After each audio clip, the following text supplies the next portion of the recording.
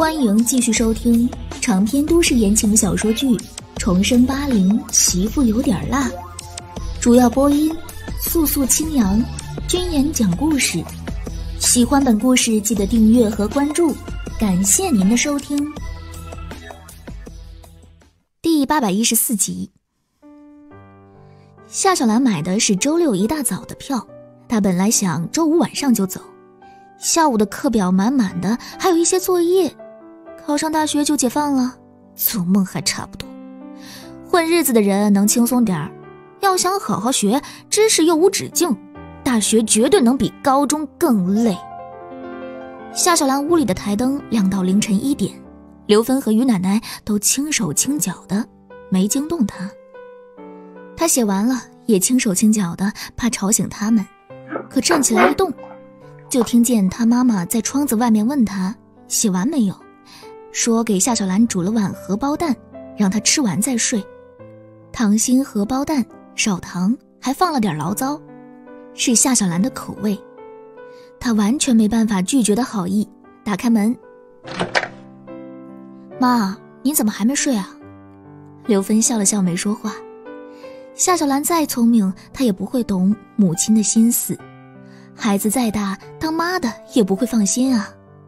担心孩子睡不好、吃不饱，夏小兰熬夜做作业，刘芬怎么可能自顾自的呼呼大睡呢？夏小兰也觉得肚子饿，年轻人的身体新陈代谢快，晚上加餐会不会发胖，那得是几年后考虑的事儿。她三两下就把荷包蛋连汤带水都吃完了，本想说一下马所长的事儿，刘芬把碗收了，让夏小兰赶紧睡觉去，明早还要去赶火车。本博士很辛苦，夏小兰开学后就没有一个周末是休息过的，现在又要坐火车去看周成，刘芬心疼闺女累，但周成那边工作特殊，单位的纪律为重，两个人中间总得有人多付出点儿。周成本人性格好，刘芬早就认可了。周成爸妈不难相处，刘芬上次见过。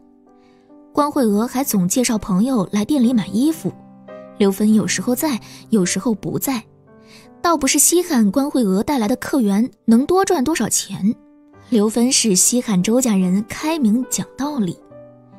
关慧娥没嫌弃她和小兰做个体户，要不他们在京城开了店，关慧娥恨不得假装不认识，哪会主动带人来？能遇到一个条件好的对象不容易。更难得的是，男方的家庭好相处。刘芬本人对这点感触太深了。周成除了不能时时陪着小兰，从哪里看都挑不出半点毛病。俩孩子现在见面困难点以后结婚就好了。刘芬还挺能安慰自己的，她也不想想，就算是结婚，夏小兰和周成谁去迁就谁也是个大问题啊。夏小兰手下拉着箱子，背上背着包赶火车。康伟一早来送她到车站，箱子和包都实沉沉的，箱子里全是吃的，包里装的是给周成买的生活用品。单位会发制服，可毛巾、牙膏之类的要自己准备，包括内裤和袜子之类的个人用品。可怜夏小兰前后两辈子从来没替男人买过内裤。他发现自己也会脸烫。嫂子，路上小心点啊！康伟帮忙把东西提上火车。京城到冀北省不远，火车会直达石家庄。火车哐当哐当的一路响，并不影响小小兰睡觉。她还真没委屈自己，能买卧铺，绝不买硬座。现在条件好了，不需要省那么点钱。昨晚本来就睡得晚，夏小兰需要补补觉。春天坐火车是最舒服的，冬天太冷，夏天太热，还会有各种汗味儿。春天把窗户打开，风吹到脸上是舒爽。四月中旬，京城到冀北这一路上又满是春意，绿意重新覆盖大地，没有满眼的枯黄，连心情都会变好。夏小兰睡了俩小时。爬起来看车窗外的风景，大早上的心情好。到了石家庄要转车，也没那么糟糕了。等拖着行李到了学院门口，当值的不是夏小兰曾见过的岗哨，他说自己找周成，岗哨让他等等。夏小兰松了口气，他又怕遇到上次那种情况。石凯的牺牲不仅刺激的是周成，夏小兰都有点风声鹤唳，就怕周成又去执行什么秘密任务。异地并不是最难的，难的是伤亡的阴影会笼罩在头顶。特别是两个人没办法联系的时候，夏小兰也忍不住胡思乱想。等周成出来，好胳膊好腿的，夏小兰提着的心放下来。周成，周成看着他也高兴，帮他把背包和箱子都接过去。你怎么带了这么多东西？累不累啊？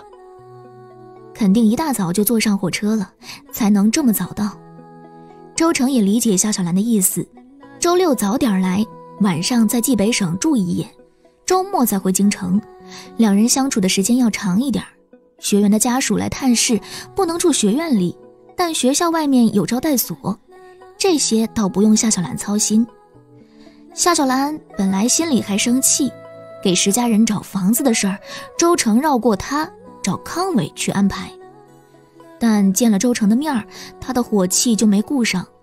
见一次面不容易啊，哪里舍得吵架？啊周成在学校可没有单人宿舍，他是营长，别人也不差呀。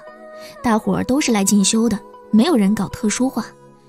他住的是四人间，知道周成对象要来，其他三个室友都很体贴，和夏小兰打了招呼，就把宿舍给让出来了。不能在寝室待，大家就打球去呗。一路走，一路都在说：“周成他对象长得也太好看了吧？”嗨，别羡慕，人家周成长得就帅，还有前途。要没有石凯的事儿，要没有石凯的事儿，上回出去的学员个个都立功了呢。现在也立功，学院这边没提起怎么表彰，肯定是有影响的。该是谁的功劳，早晚都跑不掉。替周成操什么心呀？人家年纪轻轻的就有这样的级别，进修两年回去，说不定还要往上提。啥叫人中龙凤呢？就是找个对象都长得格外漂亮。朱成他对象得比江岩还好看吧？哎，你踢我干啥？不仅被踢了，眼角还在抽搐。僵硬的转头，几个穿制服的女学员就站在身后。陆院是不招女兵的，过年后空降了一个什么通讯班，全是女学员。就他们这工作干了三年，母猪都能赛貂蝉，冷不防来了一群女学员，大部分人心里都躁动。不能和女学员凑一堆训练，可学院就这么大，总有碰见的时候。不到一个月，通讯班的女学员已经被私下人评出了三六九等。江岩是全学院的女神，妥妥的制服绿花，现在就站在三人面前，背后议论江岩，被当场抓住，真是尴尬极了。